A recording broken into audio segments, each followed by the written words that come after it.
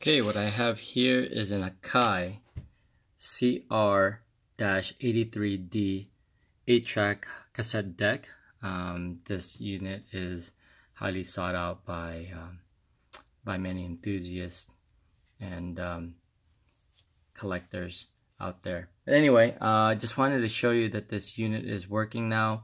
Um, I had this up for a while uh, as parts, but now um, that I uh, put in a new um, belt and I got myself a um, 8 track to try it um, so you can see how it's working. Um, the unit is in um, good condition um, but does have uh, a bit of marks here and there uh, along the edges. Also here. But uh, let's get on with just at least playing it.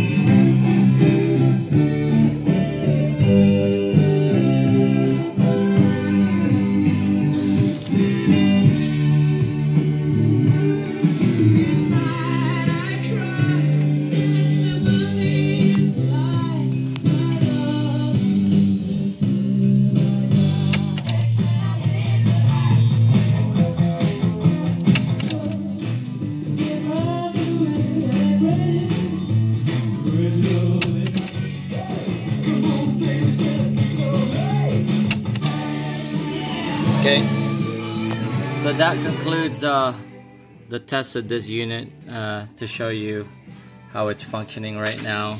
Uh, the LEDs are working, uh, VU meters are working. Uh, as you can see, the, the time elapsed moved, the elapsed counter moved uh, during that time. So again, please take into consideration all the things that was said here. it does have some um, some wear marks. Um, throughout the face of the unit. Um, not major ones but some light ones. And um, this is how it's functioning currently. So um, again take that into consideration. These guys are very very old units. Um, that's pretty much it. Good luck and um, good luck.